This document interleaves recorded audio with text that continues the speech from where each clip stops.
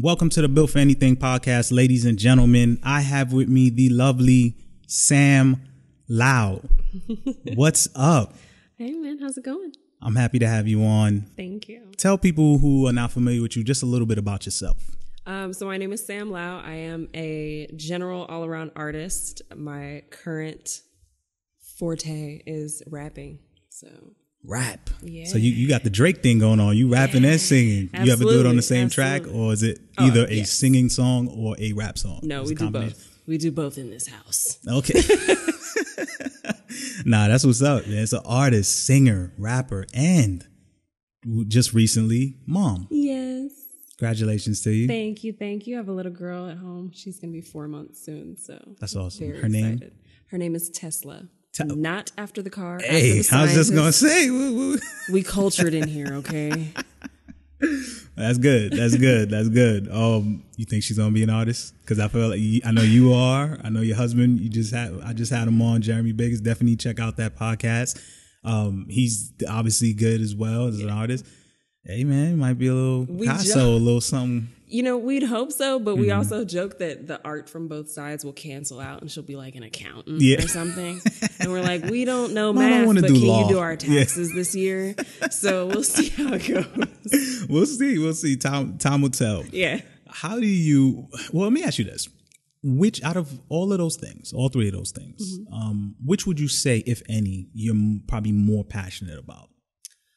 Um, not including mom because obviously Oh that yeah, trumps you- all right. everything. Let's so yeah, gonna correct, Slide that correct. Off the table. Let's let's that's the trump card. We go not. We're not gonna use that. Out of the three other things, Um, what would you say? Is, Definitely the more musically inclined. I can't. It's hard for me to pick um, between like rap and singing Yeah, because I do of- mm-hmm. both. They go hand in hand. I really don't know which one I'm going to lean towards until I have you know until I've started the track. Mm-hmm. So it could really go either way. How would you describe your music for those out there? Is it is it hip hop? Is it is it you know how would you describe it? Um, I would Pop? Like what? What would you? I call it? would describe it as hip hop, but it's definitely pop leaning. It Okay. definitely can hit that sort of like crossover, Mm-hmm. you know, um, especially with both the rapping and the singing. And then as far as like subject matter, like, you Mm-hmm. know, it's everything from introspective to things that are a little more hard that you don't want to play in front of your mom. Mm-hmm. So it can really go either way. And man, I feel like I, I'm thinking if I should ask this question because it's almost taboo for for artists out there. It's like, so do you write your own stuff? Is a lot I of your stuff okay? No, I I write all my own music. I felt Um, like that could have went left. you know, you could have been like, But I well, mean, feel like I- that's something to be frowned at. Like, if I didn't write my own music, hip hop is the only one that does this to its artists. Like mm-hmm. pop artists, country artists, like everybody else gets other writers, writers. a team of songwriters, a team of credentials on their album of people that actually like penned all those lyrics that you love. But hip hop, they're like, no, write your own lyrics, write your own mm-hmm, lyrics. But it's mm-hmm. like, guys, it's calm yeah, down. It's cool. It's okay. It's especially okay. nowadays. Especially nowadays, it's Yeah. it's it is happening more than we think. Um, but I think it's because of that old school hip hop, right? It is You think of Nas, you think of you know all those people. You're like, that would have been blasphemy, you know, to hear that I think, back then. I think it, it definitely um, stems from the bravado that is inherent in within hip hop. Mm-hmm. The I did this myself. I you know pulled myself up. Like I did what I had to do to you know succeed. So it's so tied to the voice of the people and the voice of that artist that's speaking and telling their truth and telling their story that it's how can you have somebody else write that and it still be genuine so mm-hmm. i definitely see where it's coming from but we live in an era now where it's like people also buy into personas they buy into mm-hmm. lifestyles they buy into you know an idea and not just a person so i feel like we should you know just give it a little more leeway it's okay leeway. it's I okay agree. The game, the game is changing. the game has changed I agree. I agree. Um, who's your favorite artist? Like, who do you like? right now um i really love cardi Okay. i do love cardi uh, who yes we know does Yeah, not write her own right, stuff Right. who cares her shit's flame it doesn't matter who wrote it okay I feel you. I feel shit's you. so great um but yeah, I really love Cardi. Um, of course, the usual suspects, you know, the Drakes, the Beyonces, the all of Mm-hmm. The, yeah, the Coles, Kendricks, like the- of course. Um, admittedly, I'm getting old, and Mm-hmm. you know, these young cats. I'm like, what is this? Yeah. What are you doing? Right, 21 cool. who? Go on, 22 young who? whippersnappers. Yeah, like, Little who? Everybody's a little this, a Everybody's little, a little. that. It's like God, 22, sound like my parents. What's happening here? Um, but you know, there's like I said, the the They game is changing. There's yeah. a lot of new stuff. There's a lot of you know new trends and Mm-hmm. new tangents that music and hip hop especially is taken. It's amazing to see whether you listen to it or not. Like you still have to respect the Mm-hmm. you know evolution of the game. I agree. I agree. Where did it begin with you? Where did the passion start for it? Like, how long has this been going on? You know, that you've been into music, seriously into it. Um, seriously into music, probably within the last. It's just been within the, la- within the last decade. I grew up in a musical household, but as what happens when you grow up in a musical household is somebody's at the bottom of the totem pole of talent. So when That's you're getting true. like crushed when you're younger, Mm-hmm. I just I didn't feel like it was something that I was strong enough to do, Mm-hmm. like talent wise. It didn't seem like something my ability would ever, you know, be good enough to do. So I Mm-hmm. kind of just chalked it up as to, oh, you know, I like music for Mm-hmm. myself. I like to sing along with the radio. Mm-hmm. Cool. We'll live with that. You know, I was doing other things. It wasn't something that was detrimental to my mental health that I couldn't do it or, Mm-hmm. you know, was failing at it. Um, and then in college, I uh, I went to UTA here in Arlington, and I took the scenic route. I was in school forever. It was driving me fucking bonkers. But you know, you stick it out because that's what people say. You graduate from high school, you go to college, you get a job, you start a family, you live your life, you die. Blah. All right. So we're on the path. Mm-hmm. my last semester in like my seventh year of college because at this point I've changed my majors multiple times. I'm not really sure what's going on. I had like a major car accident and mm-hmm. like took me out for a little bit. Like it was just taking forever. Mm-hmm. And uh my final semester, I can't afford to go anymore. Mm-hmm. I've already racked up debt, but I've passed the point to get another loan. So I'm like two projects deep in my final senior class. And they're like, say fam, um, that last check ain't clear, so you got to go. I see them coming into class knocking. I'm like, are you, you serious? Through the glass. Um, put the pen down. Put the pen down. Come with us. At that time, I was I was actually going for my bachelor of fine arts in visual communications. I was doing graphic design. Um, I was also taking like some painting classes and stuff, and that's what I was doing. And so that hiccup happened, mm-hmm. and it was just like, what do I do with my life now? You know, when you've been in mm-hmm. school for that long, you've literally been in school since you were five years old. Mm-hmm. I was in my early twenties at the time, and I'm just like, uh, where do we go from here? Um, what's happening? Um, what's going on? and it was it was a complete blow to everything that I you know knew about my life at that time. It's like I'm not in school. What am I doing? I'm just working. Like what what does that mean for my future? What's happening? And I was already on the cusp of a bit of depression from just coming out of high school and having that car accident early in college. And that was just the just the straw that broke the camel's back. And I was just like spiraling and just kind of like pulling away and just, you know, it was just really dark time. Um, and I had some good friends of mine that were in a group in the city called Brain Gang, which is like a, it was like the Dallas TDE, which is a bunch of rappers that also did their own like solo stuff, but came together to do uh, music as well. And one of the guys, 88 Killer, he's still he's still here doing music. He was like, you know, come to the studio with me. Let's just hang out. Let's, you know, I'll introduce you to my producer. You know, we got to get you just out of the house. Mm-hmm. So we go, we're hanging out. I go back with them like a couple times, and finally they're like, um, they just give me a track and they're just like, what can you do to this? And up until this point, I've never rapped. Rap was mm-hmm. not something that was on my radar. Rap was not something I remotely thought I was capable of. I was mm-hmm. like, no, I'm not a rapper. What? No, we don't rap. I was writing spoken word, but I was like, that's different. That's not rapping. That's spoken word. Not the same. Cousins, not twins. Mm-hmm, mm-hmm. Different. But I got that first track and it was a no brainer. Like, I started rapping. Like, I wrote the so lyrics it came easy. It you, came easy. It was part. it was mm-hmm. just this is what we're doing. This is what we have.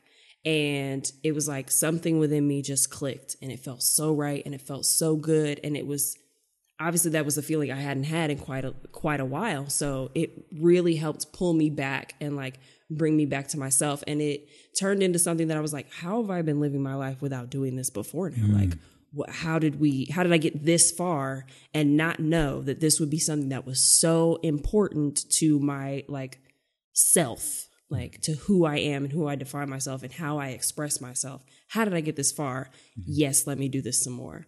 And here we are now. And Did you was there anyone that was in your life that maybe even identified or saw saw something in you, saw that in you before you even seen it in yourself and kind of helped you move it along? Or was it just all you where you're just like, okay, I, I I get it. This is probably something I need to do.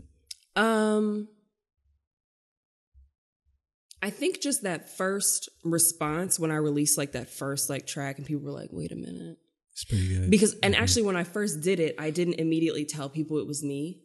Um, I kind of released it just as like a I had never used the name Sam Lao before. Like I was known as Sam with the hair before, um, and I was just the girl that like did art. I dated Jeremy, like you know that sort of thing. So it had never been a yeah. I hung around with Brain Gang, but it was never a oh Sam's part of Brain Gang. Sam does music. Sam's on these tracks. She's performing in the city. That type thing.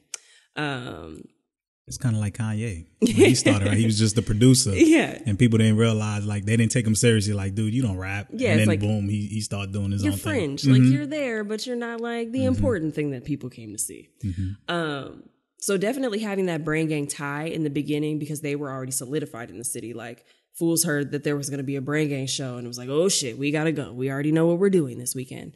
So that was like really cool to get that cosign from them because then people knew that I was serious without me having to like really, you know, beg for listens. Um, and then once I released that first project, that was my first EP. It was called West Pantego. Um, it was just like six songs. Once I released that, it like caught fire around the city, and like I was, you know, publications were hitting me up. I was booking all these shows. People were like, "Where did you come from? What are you doing? How have I never heard of you before?" And just that that feeling of not only being good at something, but as an artist having people appreciate and identify with what you were saying and what you were presenting and giving them. Mm-hmm. You know it just feels right. It feels good. Like as an artist that's kind of what you strive for. It's like yes at the end of the day you're like fuck what anybody thinks about what i'm doing with my art. You still want to be beloved. Like you still want people to you know appreciate the hard work that you're putting forth. Right. And you, speaking of that, you've had a couple milestones that I've seen, or at least you know some accolades, Mm-hmm. right? You've gotten awards. Um, I believe you got an award for was it the best uh, hip hop uh, video? Was it? yes so um got a couple of those actually. Yeah, like you, it was. It was a couple things here. It's a couple things here, and then also I know you performed that Super Bowl last year Yeah, in yeah, yeah. Houston. Mm-hmm. That's that's pretty big. That was a- you that know was like a how did that big deal. happen? Um, it was one of those times where I had done a show with the Sufferers, um, which is a band out of Houston. They had come up here for a show. I opened for them. You know, obviously I came to be good friends with them and their management. And apparently their management was booking artists for the Verizon Live Super Bowl show that they were doing uh, that weekend. And he just called me up. I was sitting at my day job. And he's like, "Hey, you want to perform uh, at the Super Bowl stuff?" And I was like, "Excuse me." He's like, "Do you want to perform the Super Bowl?" I was like, "Yeah." It's real casual. Yeah, I do. I do. You know, you gotta play casual. you gotta play yeah, cool. you You, don't want to play be like, you don't want to be like- like freaking out, even though inside you're Yeah, freaking you're out. like- and I remember calling Jeremy. and I was like, "You will not believe Mm-hmm. the phone call I just got." So like that was just really freaking cool to be able to do that. Like, it was just Mm-hmm. Did you did you have a lot of people during that time that was like, "Girl, let me get some tickets"? like, yo, hook me up. It's like Of you know, if. I know y'all, been like, yo, Of I'll take the course. drive. That's what everybody slide does. me a little something. It's it's funny. We always? Mm-hmm. joke because Jeremy does it too, where it's like we put our phones on do not disturb on show days, our show, Mm-hmm. you know, performance shows. You got to put your phone on do not disturb because you've been telling people, "Hey, I'm doing this on this date. Hey, I'm doing Mm-hmm. this on this date. Hey, I'm doing this on this date," and inevitably. Mm-hmm. 50 people are hitting your phone day. I was like, hey, what are you doing today? Where is it? Mm-hmm. What time is it? What do I need? How much are tickets? It's like, all of that is listed on the 50 flyers I posted before today. Mm-hmm. What's going on? people always late to the party. The people close to you are Always. always late to the party. Always. It's yo. not even just people like- close to you. And part of that is just like social media and Right, the environment we live in today. You're People constantly get thrown being so much stuff yes, at them. you're right. Mm-hmm. constantly bombarded with information. So I get it. You missed it, but you didn't miss 50 of them. You saw it. Mm-hmm. You liked it. I can see that you liked it, and you continue to not process the information. That's Mm-hmm. not my fault. in terms of performing, Mm-hmm. right? Because um, uh, well, how many how many venues would you say you've performed at offhand? Because uh, just ballpark figure. Oh. Maybe like close to 50 or something. It's a pretty good number. And So- I know I've hit mo- some of them like multiple, Multiple times. Yeah. What I'm always curious, um, you know, because we see from my perspective when Mm-hmm. I see artists and I see people on stage and they're doing their thing. I'm always curious what's going on in that person's head, right? Because you know, I think about things that I do and how I am in the moment, Mm-hmm. you know, doing those things. So I'm always curious about artists. So if you could describe, like, you know, you on that stage and offhand, what would you say is the biggest? I mean, uh, is the Super Bowl probably most people? That's what I'm thinking offhand. But like, you know, so you've clearly been in front of a lot of people. It's not Yeah. a room full of five or six. Like, there's a lot of people.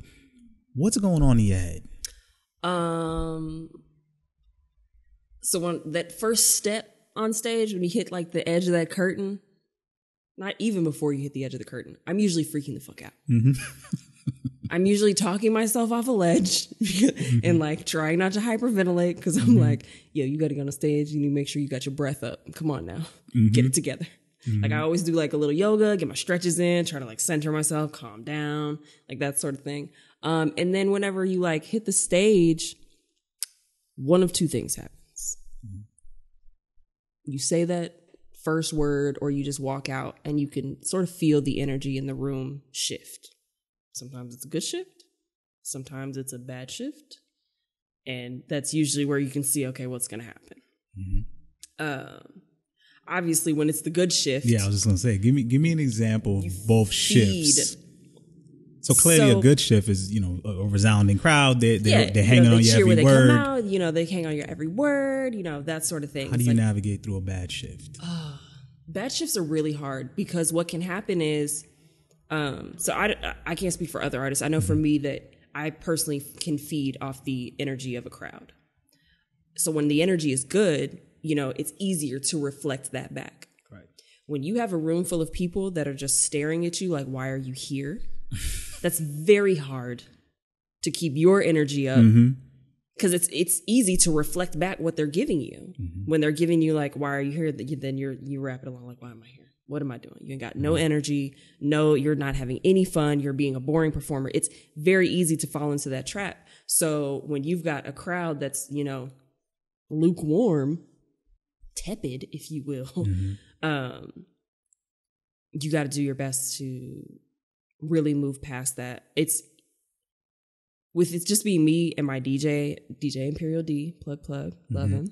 Um, we were always really good about okay, with the crowd's not giving us anything, we'll just continue to play off each other. Like obviously, we still play off each other Okay. in a regular Okay. show, but when I'm not getting anything from the crowd, we try to amp it up even more between each other to keep one another, you know, high energy, like where we're supposed to be. Um, but yeah, those shows are always weird, especially when you're the crowd's just been looking at you the whole time, and you might get a woo here and there.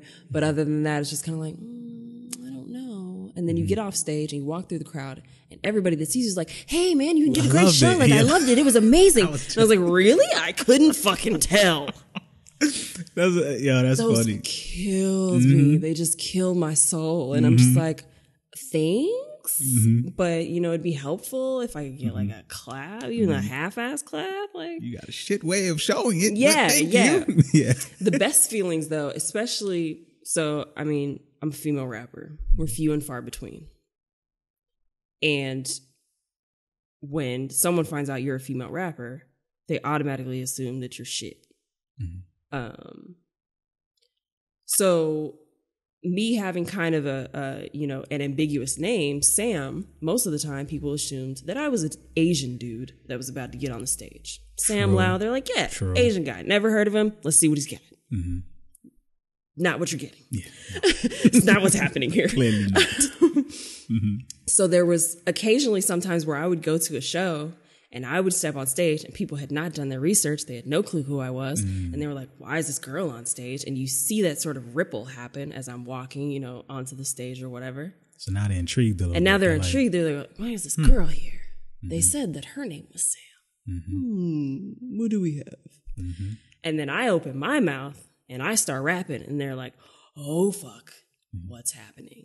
And then they catch a couple bars and they're like, oh, she's Mm-hmm. not shit.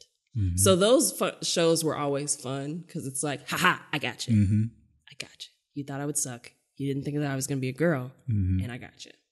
Um, so those those were always like really feel good shows. Why do you? Th- speaking of that, but why do you think is there's that stigma in your opinion that you know female artists are looked at a certain way compared to the male counterparts? Um, again, I think it stems from the inherent bravado that exists within hip hop. Uh, that sort of braggadocious, like bigger personality, like that hard, like, you know, sense tends to be attributed to dudes. So with hip hop already having that connotation of that's all that hip hop is, is this very like masculine, strong, hard, you know, persona to have a woman step into that frame of mind that people have about hip hop, they just can't they can't like reconcile the differences that they have about what a woman should be and what a man should be. Mm-hmm. Because automatically when they see a female artist, they're like, "Oh, she's a singer." Mm-hmm. Because even I get that. I get to a show and they're like, "Oh, you're a singer." It's like, no, I'm about to get on the stage and rap my ass off. Like, mm-hmm. it's like, yeah, I'll sing to you too. I can croon. Please don't get it twisted. But I'm gonna rap my ass off when I get on the stage. And then you know it happens, and their minds are blown, and they're just like, oh, well, who writes your stuff? And it's like I write my stuff. I did it. Okay, well, who does this? It's like I do that mm-hmm. because it's my shit. Mm-hmm. And they just can't contemplate. Like you know, they're like, what do you mean? It doesn't. That doesn't compute. What do you mean? Mm-hmm. and it's it's weird. I feel like it's getting a little like it's getting a little better now. Like mm-hmm. there definitely is a crop of really great female artists that are coming up and female rappers that are coming up that span the, you know, spectrum of what a hip hop artist is. Like you have the conscious rappers, you have the club rappers, you have the trap rappers, like you have the sexy rappers. Like women can embody all of those different things as a hip hop artist just like a dude can. Mm-hmm. And I mean, I feel like the bar is way higher for female artists. Mm-hmm. Dudes can be shit artists all mm-hmm. day long. There can be 50 of the same kind of shit male artists. And people are like, yeah, I fucking love him. I love him. I love him. I love him. It's like, mm-hmm. they all sound the same. They, liter- they all start with little something. There's a there's a blueprint there. Yes, there's that a guys can blueprint. consistently use. Yes. Where when I think about the women, There's like, not a blueprint. Mm-hmm. really not. Or here's the names that come to my mind. Right. I think I think Queen Latifah. I think MC Lyte. yeah. I think Little Kim, clearly. Yeah. Shout out Brooklyn. Um, I think, and, and this is old school people. I think, um, Foxy, Foxy Mm-hmm. But yeah, Brown. but that's where your mind goes. right. That's Immediately where back that's to where like it the goes old to school. them, and then because they were there in that Mm-hmm. beginning of hip hop. So they have that like solid footing in the inception of what we know now as hip hop Mm-hmm. as like in the forefather, you know, you know, realm of what Mm-hmm. it was. But I don't know what happened after that that it was like, nah, chicks can't rap. Mm-hmm. They can't rap. This is solely dudes. Women can't rap. And if you do rap, you've got to be like super butch right. or you've got to like be wearing no clothes. Those are the only two options you get. Mm-hmm. Yeah. And those are the only two frames of reference we want for you, which is so weird. Like it doesn't make any sense. But I mean, it's definitely getting better because as you can see, we now have female rappers that, Right. you know, Nicki. go across the whole spectrum. Right. Cardi. Like like we've got the said. Nickies and Cardis, and even on the you know not super mainstream levels, you've got like your Noname Gypsy, you've got your Rhapsodies, you've got like you know those other women that are out here rapping their ass off and fucking killing it. Mm-hmm. Yeah, they're not getting the mainstream looks, but they're creating cult followings that will Mm-hmm. continue to pay their bills for a while. Mm-hmm. So I mean, it's good to see. I want to see it faster. I want to see more of it. I want people to you know not immediately sort of scoff at the idea of a female rapper. Mm-hmm. But you know, we'll get there. in terms of you getting awards, right? Mm-hmm. How do you feel, you know, or which because you've gotten various ones. Mm-hmm. Um, I hate to to say, you know, put you on the spot where one means more than the other, but I would want to know, like, for one, what's the feeling like when you do achieve something, you do get awarded for something, and then is there one that maybe you didn't expect to get, or that one meant something more to you, maybe because of something else that was going on in your life, or maybe you know, like, it's not to say everything else you weren't appreciative for, but like, maybe that one was the one where it's like, yeah, I'm kind of glad I got that one. You know what I mean? Like, I worked hard to be recognized for that particular Yeah. one. Um, I don't know if it was one specific award. I think it was the group of Dallas Observer Music Awards that I won in 2016. I think that was. Um, I got nominated for five awards and I won all of them. And that was that. Yeah, royal flush. You yeah. Royal Flush just all the. hello. Um, that was really important because the album that I won for was called Spectrum. It was my second project that I ever released. And I was so nervous about that particular project because I wasn't certain if the first one was a fluke. Like, I wasn't cer- sure if my reception and how people perceived me was just a one off. And they were like, all right, we've exhausted that. We're going to move on to something to else. one. So there was so much stress on me um, creating that next body of work. And then I remember I got close to finishing that particular album and I had a bit of a falling out with the producer that I was working with and I lost the whole album. Like I pretty much ended up having to start from scratch. get out of here. So like yeah, I had my lyrics and I had my melodies and stuff, but I had no beats. I had, you know, I w- had full songs already finished. Like I was in the mixing and mastering stage like, you know, okay, we're going to release on this day, like I just got to get these few songs finished and you know, Started over. Damn. just fucked it off. Just Damn. gone. Um, so that was a huge blow as well because now not only am I dealing with the oh I don't know how people are going to receive this, now I have to come up with something completely new. Like I have to come up with something fresh again. I have to pretty much start over, and um, so that was just a hard journey. It kind of lit a fire under me though. Um, not that I wasn't working hard before, but then it was a oh now I really got something to prove. Um, so when I released that project and it was still received great because it had been like two or three years since my first uh, EP. So uh, then I was like, okay, maybe it's been too long. Maybe I missed my window. People don't care anymore. When I released it, it was the same thing. It's like all the publications, booking all these shows, doing all these things. And then Dallas Observer Music Awards come up and I get nominated for Best Female Vocalist, Best Video, Best Hip Hop slash Rap Artist, Best um, Album, and Best Music Video. And it was just like, whoa, fools really love me. Okay, this is great You just cleaned it out. just cleaned it out. And I thought before it, the the award show happened, I was like, "There's no way I'm gonna win all of these. Like, mm-hmm. I might win one. That'll be tight. Maybe I'll win two. That'll be really fucking cool." And then the night that happened, it was like, and the nominees for you know best music video, and the winner is Sam Lao. And the nominees for best female vocalist, and the winner is Sam Lao. And the nominees for best hip hop slash rap artist, and the nominee, the winner is Dope. Sam Lao. And I'm So just like, dope. Holy shit. And mm-hmm. what's crazy about the Dallas Observer Music Awards, I don't know why they do this, but every year the whoever the alcohol sponsor, that's what the trophy is, just a bottle. And I think it was like Okay. I think it was Jim Beam that year. Mm-hmm. So I walked out with like five bottles. Mm-hmm. I still have them at the house because I don't drink. So they're just up there. Wow. Like the only one that's not there is I gave one to my dad because the music video that we shot, we shot part of it in his garage. Oh, that's dope. So I was like, Daddy, you get to have this one since we Mm-hmm. shot part of it here at the house. And even he was he doesn't drink it because it says like Dallas Observer like a winner. So, and yeah, he's he got, got it on the shelf. He's yeah. Mm-hmm. like proud and shit. And I'm like, yes.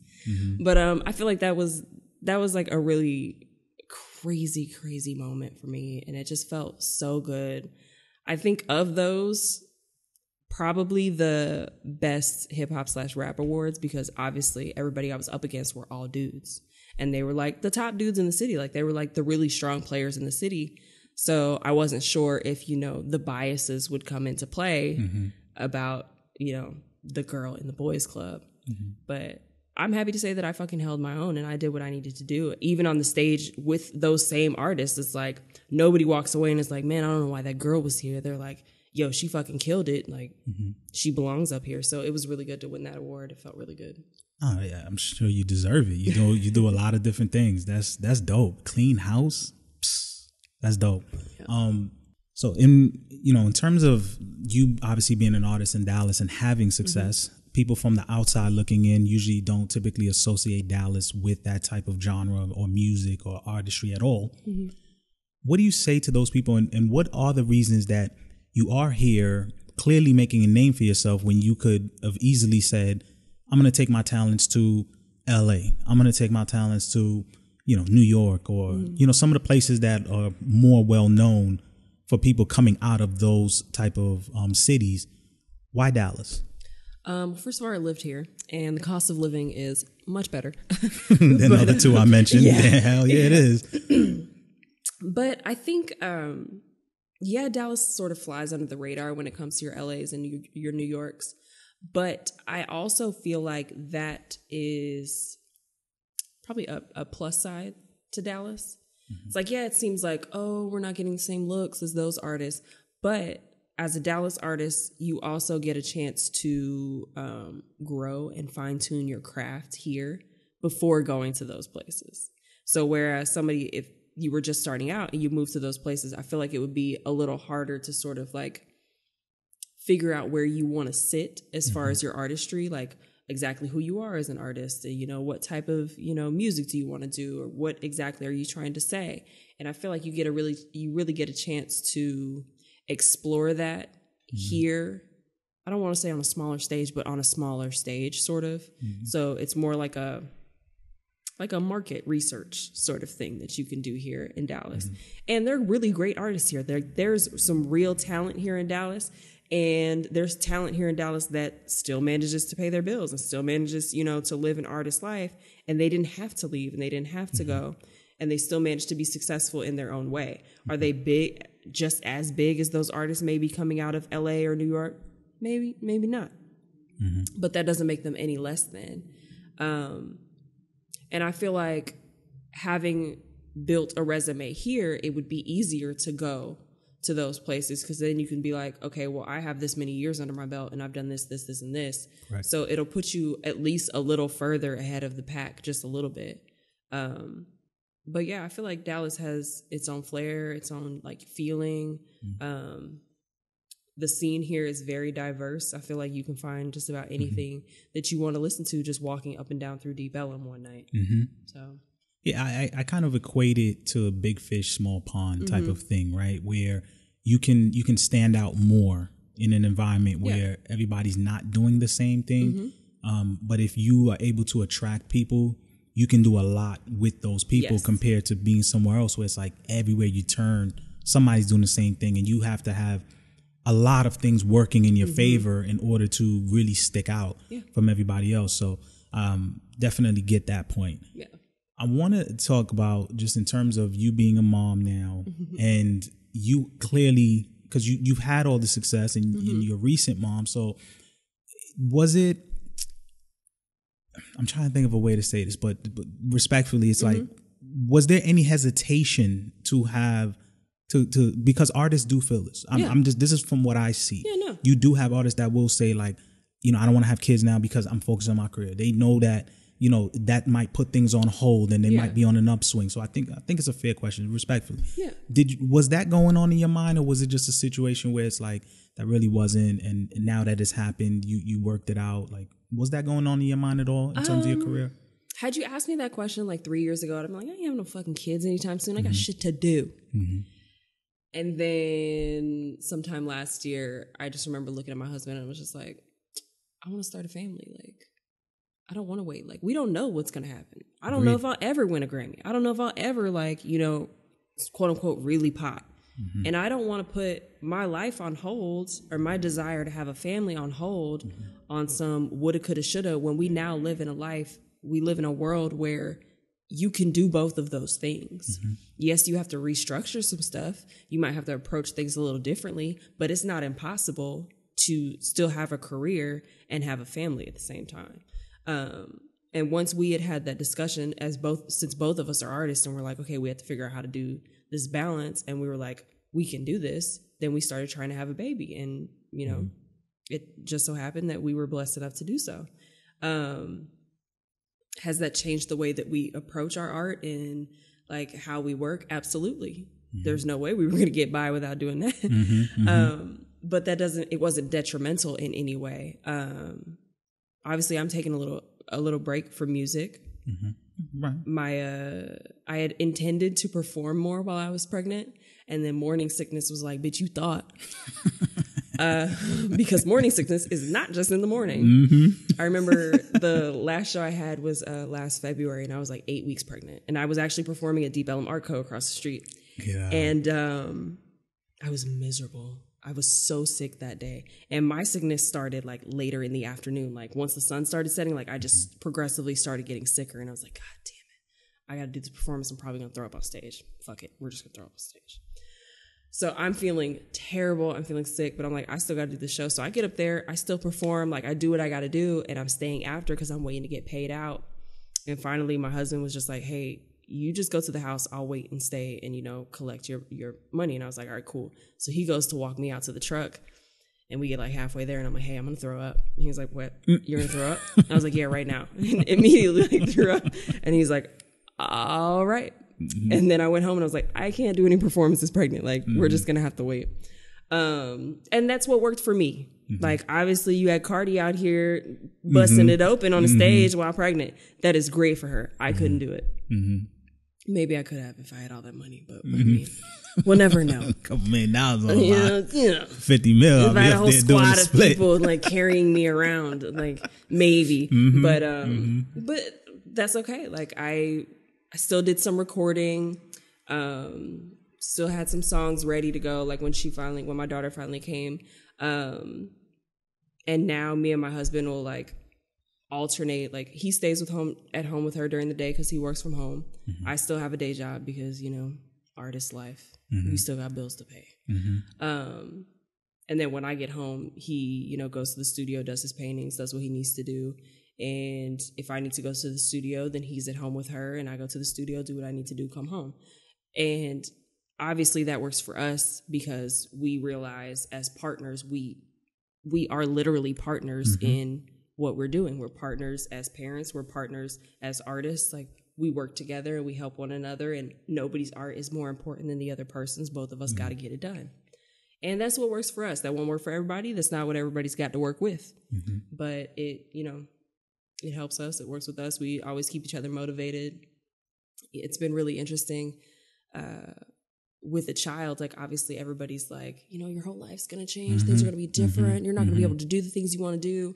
And we just been running around and like still doing shit. And like, what were they talking about? Mm-hmm. Um, and I think that's just like an old school way of thinking. Right. I th- feel like now, like you don't have to subscribe to that school of thought. Like if you can make it work, you make it work. Like we went to Art Basel, Mm-hmm. and we took her with us. So we're scrolling around Miami Beach with the fucking mm-hmm. stroller, and we're like, all right, yeah, we're out here. Mm-hmm. Like, and it was no different than if we would have gone, you know, with just us because we're not huge party people. We don't do all the partying and drinking and smoking and shit. So it was, it was like, no, this is. We just got to make sure she's okay. That's the only new thing.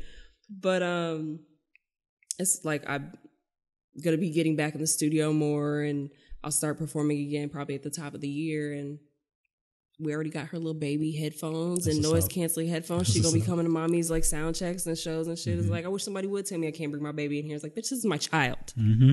What you gonna do? Tell me I'm not gonna perform? Mm-hmm. Who's losing money? Then? Mm-hmm. I agree.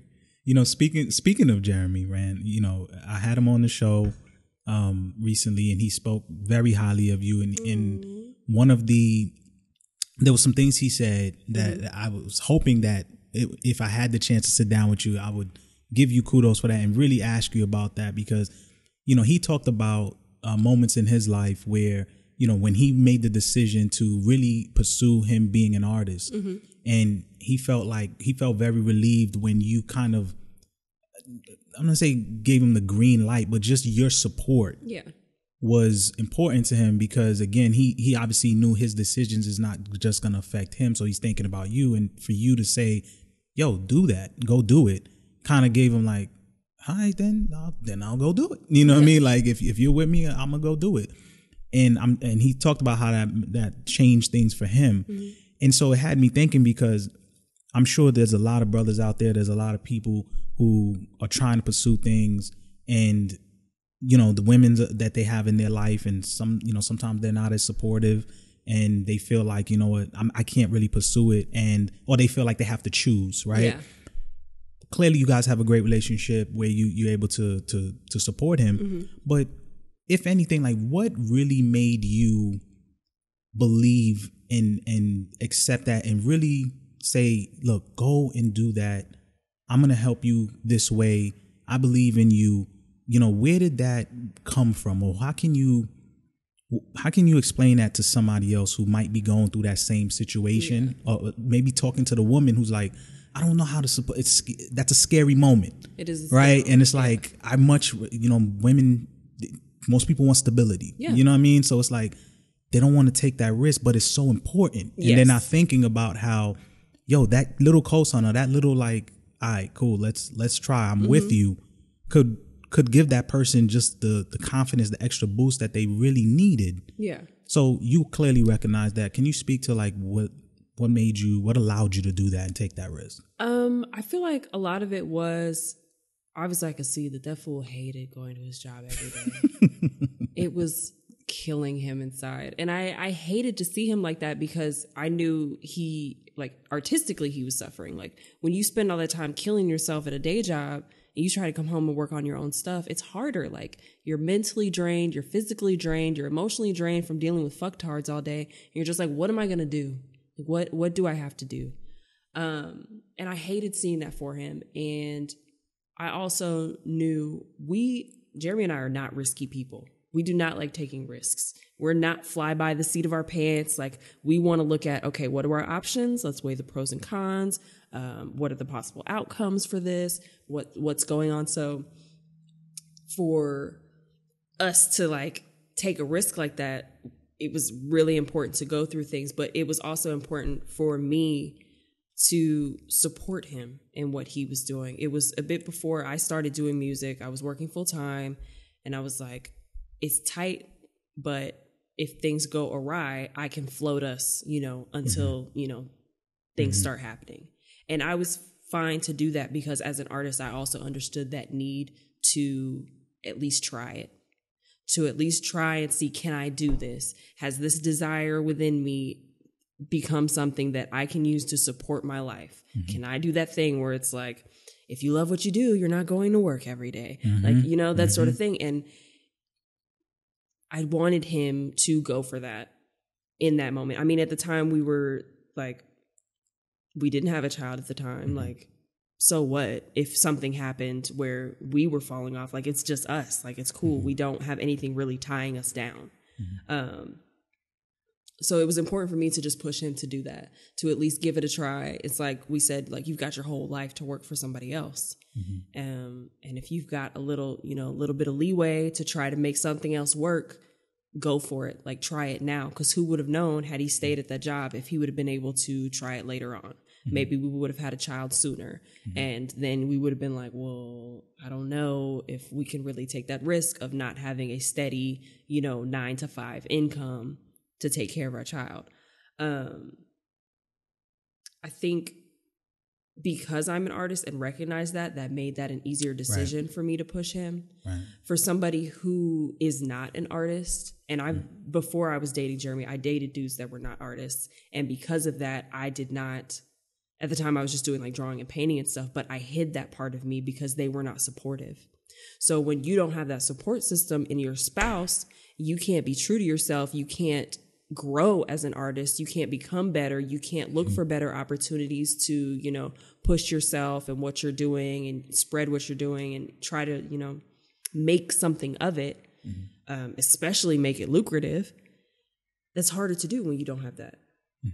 Um, and I know that that's also hard for someone who does not understand what you're doing Right. as an artist Right. to support. It's like I don't. This is because a lot of times it's not real to them. It's like you're making shit. You're pushing paint around a canvas. Like what is mm-hmm. what is this? What is mm-hmm. this? It's not the, the traditional, Yes. you know, uh, he's a doctor, she's Yes, a it's lawyer. not a traditional yeah, people, way of yeah. making money. Right. It's Anything not- outside of that is considered a risk to most people. Yeah, Right. it's not super reliable. It can be mm-hmm. very risky. It doesn't. There's no real rules to it, so it's just like I don't know how you exist within this.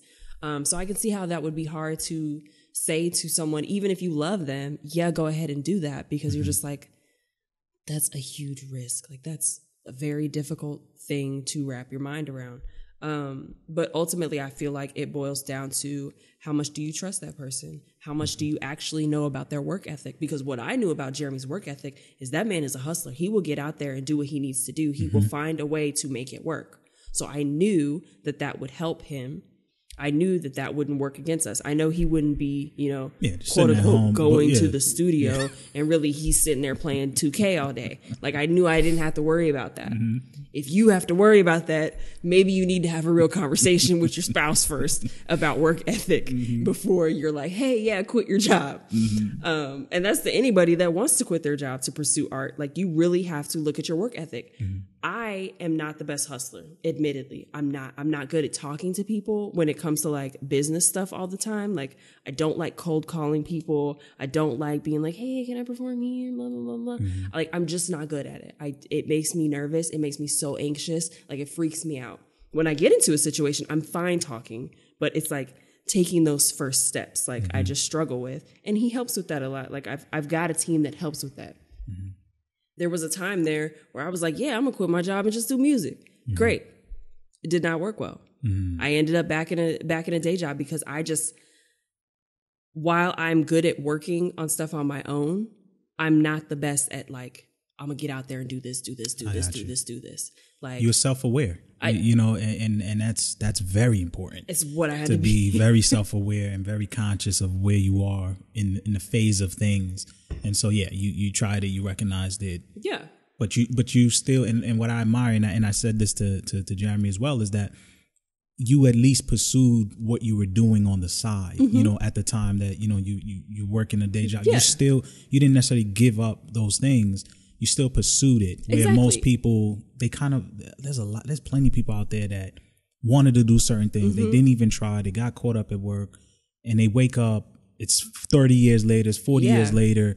They never even, you know, tried it, you know? Yeah. So, I mean, and you, you definitely just have to try. Like, I personally need the structure of, of the day job at this, at this time. Mm-hmm. Um, music is still like it's still kind of flighty. It's still kind of hit or miss. And that stresses me out way too much. Like it just stresses me out way too much. It's too flexible. Like it's too kind of like all over the place where I am right now. Mm-hmm. And it helps me to have something that's consistent and something that's steady and something that I know is going to be, you know, the mm-hmm. same, something I can know how to anticipate, I know how to navigate, and I can frame the rest of what I'm doing around that. It helps keep me grounded. And that's just me. Mm-hmm. But I also feel like if you're somebody who knows that you want to do something else and you can't even with a day job attempt to do a little bit of that, like, do you really want it? Exactly. Do you really have the work ethic for exactly. it? Exactly. Because I mean, I don't feel like my my work ethic is any less just because I don't consider myself a hustler. Mm-hmm. Like once I have something, like I'm going to do it to the best of my ability mm-hmm. every time. Mm-hmm. I'm still going to try to get things on my own. I just am not the best at it. But I also realize that. So it's just people have to just have to be self aware. You can't look at, you know, who you follow on Instagram or who you follow on Twitter and all these other people that seem to be doing it because you're looking at everybody's highlight reel. Mm-hmm. And when you look at everybody's highlight reel, you miss all the hours they spent in the gym. Mm-hmm. And if you're mm-hmm. not willing to spend some hours in the gym, you can't expect to have a highlight reel like that. I agree. It is what it is. I agree. I'm sure it's a big benefit though, having you know your husband by your side who's mm-hmm. who's doing things that can assist you directly. The music videos, the photography, yes. the you know just from a creative, you know somebody to bounce ideas off mm-hmm. of. Um, you know, how do you? I'm sure that plays a big part in you in your guys being able to give each other the freedom because there's Absolutely. that there's that mutual respect there. Absolutely. Um, how do you you know how do you guys keep from how do I say this? How do you guys keep from like tearing each other up? You know what I mean? Because sometimes, especially when you're passionate about your thing, yeah, it's like, hey man, don't you know? This is my shit. You know what I mean? Don't don't you don't know? Break my stuff, yeah, man. like don't you know? Don't, it's it's it's still my thing. You know, and it's like you know, respectfully giving the opinion. Like, how do you guys keep from like look, taking it don't come to the studio. Yeah, don't yeah. come to the studio today. Why? Because you're too you know, you're too harsh or you too, you know, you critique it too much. Like Yeah. how do you how do you have that balance? I mean, that still happens. Okay. Both of us are very competitive, first of all. Okay. We are extremely competitive. And that that works for us. Like we feed off each other. Like we'll see one do something, we're like, ah, damn, that's just fire. I'm about to do this. It's about to be better. like we push one another in that way and that works. But we are also um I won't say particular, but we're still particular. And we also don't want to see the other one fuck up. So even if we see that, oh, they're in love with this, this they feel like this is the best shit ever, we'll still pull the other one aside and be like, all right, babe, you've done better. You can do better. Like you need to tweak this, dial this back in, you know, maybe revisit this at another time. And yeah, it hurts. There's been times where I come home from the studio Thinking with the new track, and I'm like, ooh, babe, I just did this. Ooh, listen to this, listen to this. And he's looking at me like, no. He's like, yeah, What you mean you ain't this feeling that ain't, one? this ain't You the ain't listening to one. nothing else no more. exactly exactly and like yes it hurts your feelings Mm-hmm. but once that emotion has sort of simmered down a little bit you realize okay yeah they're right i can go back in and make this better yes this is not my best work um and i feel like the reason that we do not tear each other apart or like hurt one another with it is because we're also upfront about that. Like we know that it's not coming from a malicious place. We know that we're not actively trying to hurt one another's feelings. We're not trying to, you know, cut deep. Mm-hmm. We're just flat out saying this is what you can do to make this better. And we're also not offended if that other person does not take that advice mm-hmm. which is another thing. It's like one of the things that we always joke about is we take ownership of ideas and mm-hmm. like things that we're a part of. It's like if somebody comes to us or one of us goes to the other we're like, what do you think about this? And we give them their our ideas or, you know, our thoughts behind it or what they can do to make it better. We want to see that happen, but we also recognize that's not ours. We mm-hmm. can't put our stamp on that we've got to let them do what they feel is best. So because we are on the same page with that, it works out. We don't have, you know, blow ups or people being mad at each other, Mm-hmm. you know, I'm gonna sleep in the living room. Like we don't have any problems like that because you know the intention because you know the person's intention. Yes, we It's know not the to tear intention. the person down. It's to make you better. It's to, Exactly. You know, it's so you don't take it super personally. It's not negative. Mm-hmm. Yeah. Um, he told me, you know, there was there's you know the, you guys go out now and people are starting to really recognize you guys Mm-hmm. in other places. How do you deal with um, you know, you're going places now and people are like really gravitating towards you or really excited to meet you. Like, have you had anybody approach you that was that did something that really blew you away where it's just like you know i really love your music you know or like you've really helped me in terms of wanting to pursue the same thing and like did you have that moment yet or those moments Um, I've had a couple. There was this one girl um, a couple years ago. I performed at the Deep Ellum Arts Festival, and she met me afterwards, and she was like crying, and I was like, "What? What? What? Somebody's crying when they've met me?" And she was just so sweet and just so loving. And um, another one, there's this little girl. Um, her name is Marley, and I met Marley probably within that first year that I started performing. I performed downtown at the Main Street Garden Festival that they do down there.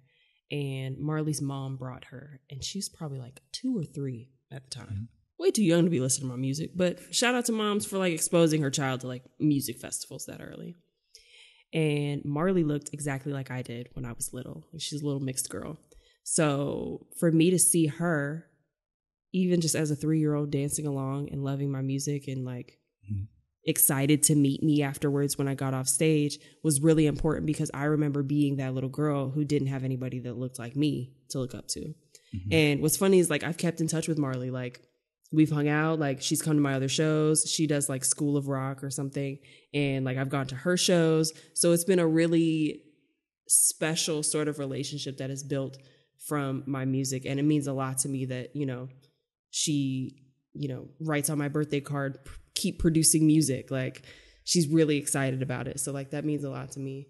Um and just like little stuff like that.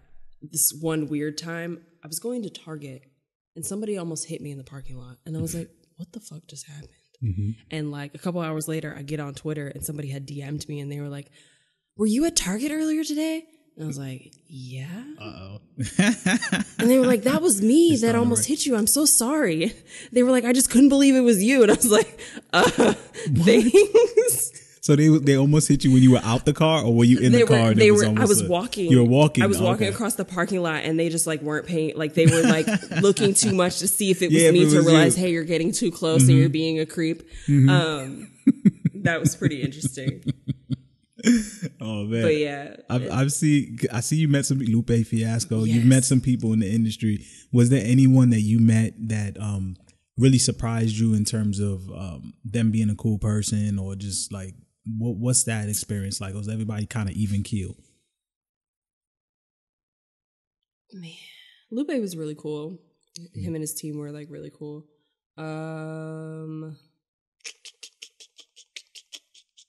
I don't know that anybody's like really standing out. Um, damn, I feel like I'm gonna remember like a really good Mhm. story to tell when I get home tonight. Be like, shit, I should have told him that story. I've seen. I see a couple people. But right now, like nothing particular is, is coming to mind. Who do you see? Who do you see? Um. Well, I see Lupe. Um. It's my man right here. Lupe was especially like important because uh, he was one of the artists Jeremy and I bo- bonded over when we first started dating. Ah. Like on one of like on our first like unofficial date, I remember we were in the car and uh, I didn't really know who Lupe was at the time. And Jeremy, but he was like Jeremy's favorite artist, so he was like playing all of his music and like breaking down lyrics, and he was like, "Yeah, yeah, yeah." It was like this and this and this, and I was like, "Man, that's fucking amazing." Mhm. Um, so it was really, really tight when we got that call that they were like, "Yeah, Lupe wants you to open for him when he plays in Dallas," and I'm like, "Oh shit!" Really?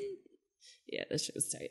Oh, that's dope. So yeah, that was that's definitely one for the books for that little marker right there. And I told him that, and he was like, "Man, that's super tight." Because obviously, like we were married at the time that I did that show, so it was like we're gonna marry it because Lupe is awesome, and we had a great first date bonding over Lupe. That's dope. That's dope.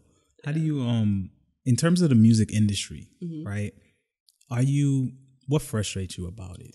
You know, just I, I- I'm sure there's there's what frustrates you about it. What frustrates me, artist, right? especially uh, at the level that I'm at, is all the middlemen. There's so many middlemen in the music industry who can't really do anything but know people. So it's like, it's a, I don't want to call it a necessary evil because I don't feel like it's a necessary evil.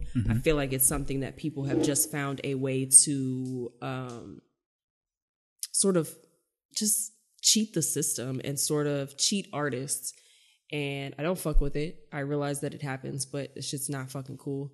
Um, I hate the whole pay to play bullshit. I feel like that is the shittiest of shits, especially in the hip hop industry. I feel like it's so prevalent in the hip hop industry because I've talked to artist friends that I have in other industries and other like genres, and they're like, "What do you mean you have to sell tickets to your own show? What do you mean if you don't sell those tickets, you don't get to perform? Like, what do you mean you have to pay to get on stage?" And it's like, why are you doing that to artists if not just to fuck them over? Like at that point, you account for no like you're not contributing anything to the music scene. You're not mm-hmm. contributing anything to the growth the growth of the community of artists that you claim to support. It's just like why? Why would you do that? And it sucks because in some ways, in some instances, you have to play that game just to get the FaceTime with, you know, the audience and the crowd and stuff. Like it's but it's bullshit at the end of the day. Like it's Mm-hmm. a lot of fucking politics, a bullshit. It's, lot of- it's yes, it's a lot of unnecessary politics. It's a lot of people with their hands in the pot when they didn't contribute to the meal at all. And you're just Mm-hmm. like, why are you here? Why are you getting any of this? But somehow they're still, you know, the gatekeepers or sitting in the upper echelon of people that you have to get through in order to get anywhere. And it just fucking sucks. Like it's enough to make you real jaded about the whole process, but you're just like, I just got to keep doing what I'm doing and hope that that's what works. Mm-hmm. Yeah, that that was gonna be my next question too. Is like, how do you then keep going, right? Because there's always obstacles. There's always stuff that comes up, mm-hmm. and it, it- this is a two part thing. So there's there's those things, but then also as an artist, when especially in the beginning, as you're mm-hmm. kind of building up. Okay, so you know you there's the there's the business side of things, right? There's the politics side, but then there's also the side where you as an artist where things may not be going as quickly as you anticipated. People may not be as gra- you know gravitating to that that song you put so much effort into. Um, how do you kind of stay the course? Um, I think especially nowadays you have to remind yourself that sometimes people just didn't see it, especially on the internet. Like there's so much information and people are constantly bombarded with everybody's song and everybody's photos and everybody's, you know, thoughts about random bullshit that happened that day that it's very easy for things to slip through the cracks. And it's something Jeremy and I constantly have to tell each other. It's like, just because you put it out there doesn't mean they saw it when you did or listened to it when when you did mm-hmm. um, and it's very easy to fall into that trap of oh nobody's listening or nobody cares and nobody's looking for it and the sad fact is nobody's really actively looking for anything they're just letting things come to them and they're picking up on things here and there so they might have missed what you did. Maybe they weren't online that day. Maybe they were involved in some little trolling battle on Twitter and they just missed mm-hmm. it. And you just have to remind yourself it's like it's not personal like mm-hmm. that's another thing it's like it's not that somebody was doing something to you it's that they were doing something for themselves right so you kind of just have to decide okay am i doing this solely for the accolades or satisfaction of somebody else you know receiving it or am i doing this because i actually actively enjoy it and I think as long as you still hold on to the I actually actively enjoy this, mm-hmm. you'll be able to, you know, get through those times where it seems like nobody's listening. Um, also, just again, due to the nature of the society that we live in today, it's much easier, quote unquote, easier as an artist to put your works in front of people. Yes. Because you have wider access to individuals that you would never ever see mm-hmm. or meet in real life. Different countries. Yes. It's just, yeah. The whole world mm-hmm. is out there. And sometimes all it takes is, you know, posting it to this website or this forum or this thing or just, you know, word of mouth that happens via the internet and via friends that you've never actually met in person.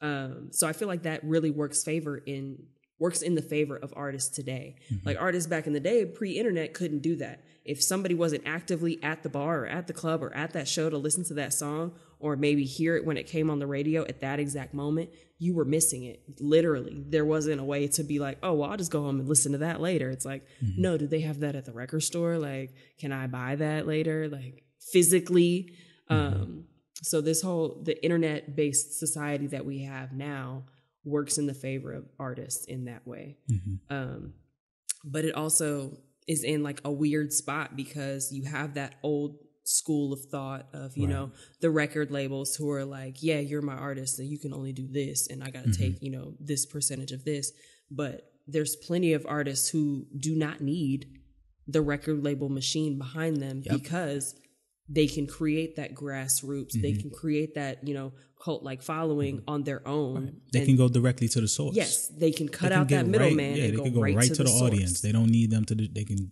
put out a post exactly. they can put out a tweet they can go on youtube they can for the most part get directly mm-hmm. to the mm-hmm. source they don't necessarily need the machine uh, behind them. Exactly. And when you you know you're doing tours and things like that, then, mm-hmm. then there's just money involved with that. But in terms of like getting going, yeah, you could put out your music. Nobody mm-hmm. stopping you. You can connect with millions of people. Mm-hmm. Um, is your music like is, is, it available on like SoundCloud? Absolutely. And so it's SoundCloud, everywhere. Tidal, Apple, mm-hmm. Spotify. It's on you know all of those. And that's another thing. It's like you can just put your mm-hmm. music on these platforms.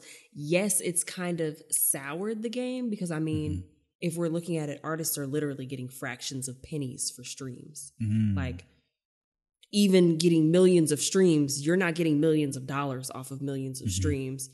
The only way that that happens is you're segueing those streams into other mm, revenue. A tour. Yeah, you're segueing into you know, a tour, into merch, doing, into right. other appearances. Mm-hmm. And that's how you're getting your money. Mm-hmm. You're not sitting at the crib and just eating off of streams mm-hmm. alone. Like, there has to be more. And I feel like that has created artists that um, have to be like more multidimensional. Like they have to be able to do those things and try those other revenue streams because of that.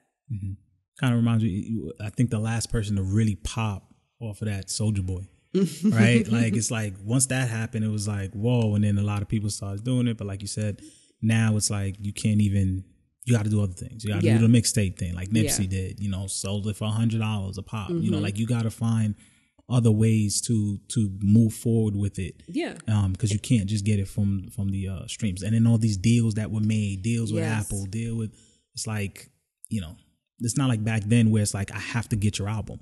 I could legit just like one song, Yes. listen to it through Spotify, Apple Music, whatever, or even listen to YouTube, whatever. Yeah. And all that money that went into the album, nobody bought the album. Yeah. You see what Jeremy and I were talking about that uh, the other day because we were like, you know, again, like we obviously bounce ideas off each other and, you know, talking to him as well as like other musician friends that I have, it's like, there's really not, like, it's an old school of thought to be like, yeah, I have to make this 15 track album mm-hmm. because nobody's listening to mm-hmm. 15 track albums. Even when someone releases it, you're like, why the fuck is there 15 tracks on this goddamn album? I don't have an mm-hmm. hour and a half. Like, what am, what? No. What are the highlights of this album? Yep. So it's like it almost makes sense as an artist to just be like release a really strong like four to five song EP or just keep cranking out singles because that's how people consume music now. Yeah. They don't have to, you know, they don't have a six CD disc changer in their vehicle and they're like, "Oh man, these six mm-hmm. CDs got to be fire all the way through mm-hmm. cuz I can't go in the trunk and change all these discs." Mm-hmm. Like that's not something that we have to deal with anymore. They can literally just fire up and be like, all right, well, here's my playlist, and these are all my favorites from all of my favorite artists. Like, they hmm. don't have to be so, you know, I mean, they can be more picky about what they like. Mm-hmm. So it's just one of those things. It's the way that the game is changing, it's the way that the industry is moving to fit more with how people consume music and consume information. Mm-hmm. there was there's two things um and this is a little different from Uh-huh. from what we said but i just i noticed it um well I'm, let me start with the first thing this Okay. is still which is still more on topic i What you noticed got? you, did roxanne i, I noticed Yes. the post of roxanne roxanne and i thought that was pretty dope uh because of the netflix Mm-hmm. um you know uh movie that that came out earlier this year and you you know you was able to put so you performed at the concert after the show Yes. and this is when it was was that when it aired was that may 4th like when it came out yeah that, it looks like it So they did a screening at uh, the Angelika downtown. They did a screening of the movie. Roxanne was actually there. Like she was actually there for the screening. She like performed afterwards, and they had got me and um, some of the like female DJs that are in the city to, you know, do like just like a female show afterwards. And I remember it. I got to see a preview screening of the movie before it actually hit Netflix.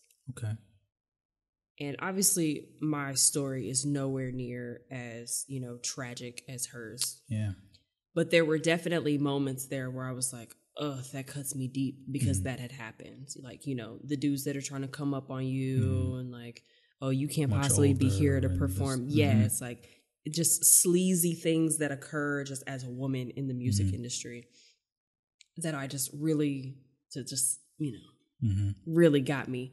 Um, and then to be asked to perform and with her actually being there, it was just an amazing experience to be able to see, you know, one of the greats and like one of the people that, you know, are like hip hop royalty. hmm Um, to have them there and have her listen to me and like see me perform and then afterwards be able to tell me that, yeah, you got it. Like you fucking killed it. so oh snap you're right so she was there She was actually there. Oh, yes. the real roxanne the real Yes. yeah yeah not the okay that's yes. what's up So that was that was, you know, just really amazing to Mm-hmm. be able to be a part of an event like that. I think when I when I watched it, I think a lot of people was just kind of like, "Yo, that's Nas." You know what I mean? Like I- that's what I was saying. I was like, "Yo, is that Nas?" Yeah. And so yeah, I thought that was pretty dope. And just kind of showing like, um, you know, How things are just, Yeah, how intertwined things are like- all connected, and and you just never know who's gonna become what. And Mm-hmm. like, oh, that's Nas. Um, I thought that was pretty dope. Yeah. There was um, I'm gonna tell you right now. The uh, so you're a DBZ fan. Oh my God, yes. So, you know, I had to bring it up because I'm, I'm looking up and I saw the costume and I said, wait, wait, wait, wait. I got to ask her about this because, you know, uh, DBZ, for the people out there who are listening, those who Dragon follow know. Dragon Ball Z has a cult following. Did you, did, first of all, did you know that, you know that they're coming out with um Super Broly in Jan- next month? Yeah. I look. I, I kid you not. It was in my research, me looking Mm-hmm. up things, and I saw it, and I remembered it. I was like, oh snap, they coming out Super Broly. I went to like see if the tickets was available or whatever. Almost every like the local like the day it comes out, which is like January fourteenth or something like that. North Park, all it sold out. Yeah, I I, was so always mad. I was like, somehow miss those. Damn. like. I was like, damn. So you know, there's there's clearly there's a following, right? Yeah. There's a huge following. So I I just I, I saw it and it was just like, yeah, is she really a fed? Like, or was that just for the moment? So you No, actually, really fan. I grew up watching Dragon Ball Z and Sailor Moon. What's funny is my mom is the one that got me watching those.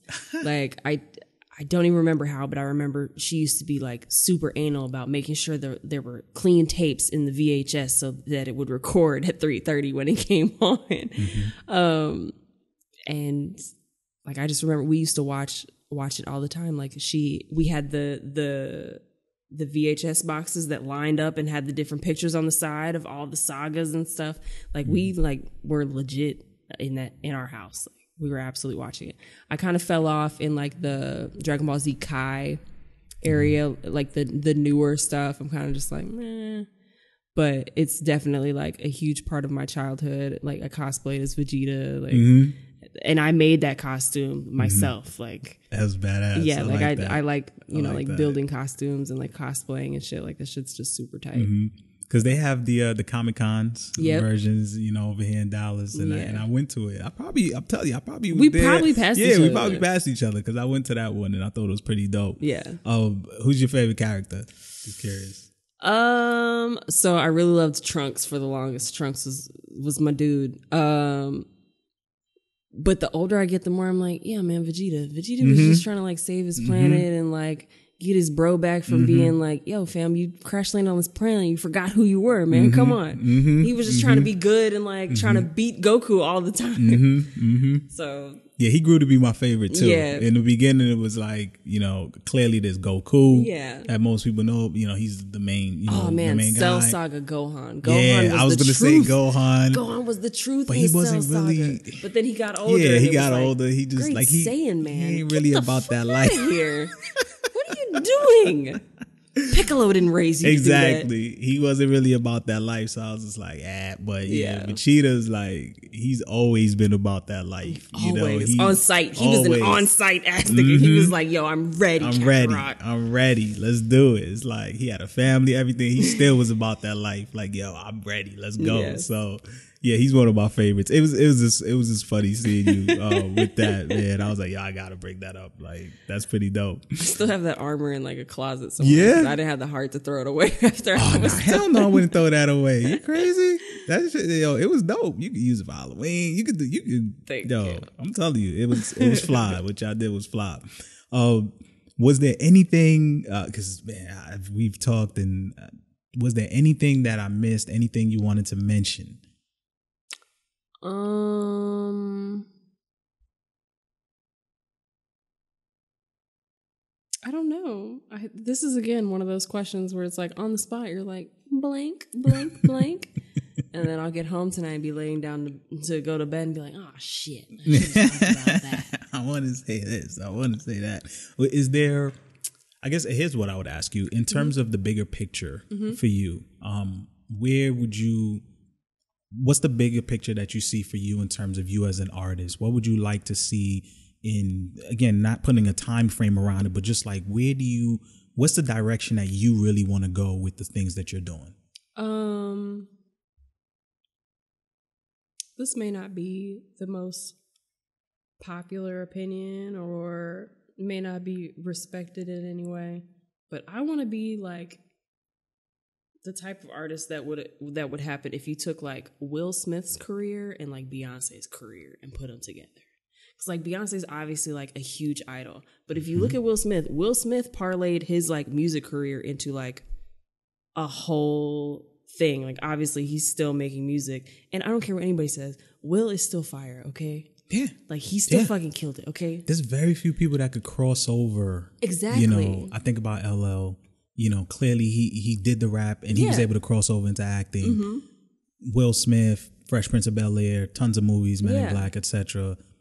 Drop music wasn't crap. You know what I mean? Like it's like not everybody can do both. Yeah.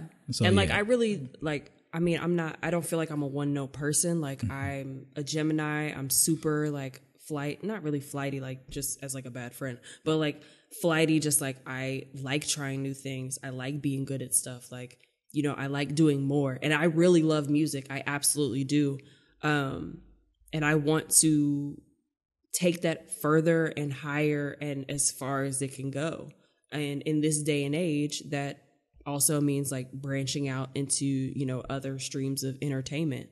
And I would love to do that. I feel like that would be So you really I'm- amazing. I'm, hearing acting potentially yeah, I the would future. love to do some acting. I'm Um, hearing I would love to do some more like behind the scenes, like Mm-hmm. songwriting for other people, and like um, I love when I get to work on music videos with my husband and like Mm-hmm. doing that sort of thing. So it's just like so taking them more behind the scenes, more pivoting into different avenues of entertainment. yeah, Okay, so I see what you mean because normally, you know, as an artist, people would say, you know, I want to have ten albums and billboards and this and that. So you're, it's I'd not love to do necessarily. like a world tour here and there, but it's also like I would feel just as accomplished. Like you know, to be more than an artist, kind of. yeah, Yeah, especially today, right? Yeah. Where it's like there's this there are these avenues available to Mm-hmm. you, and the sooner you can pivot, the sooner you can realize. Because, like you said, the attention span is is very low for people, and it's hard to really stay hot. Mm-hmm. Yes, you know, you gotta hard. really, you know, you almost gotta go away, do something else, and then kind of come back. Yeah. you know, because the staying there